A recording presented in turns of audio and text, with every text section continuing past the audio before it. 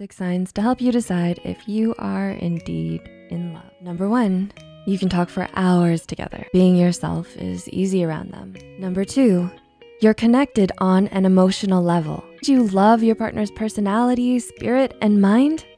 You may just be in love. Number three, you can spend time with each other without being physically intimate. If you're in love, you're in love with more than just the charming smile of theirs. You're in love, you get excited with just the idea of being able to be around them. Number four, you don't feel judged by them. Any strong worries of judgment are gone around them.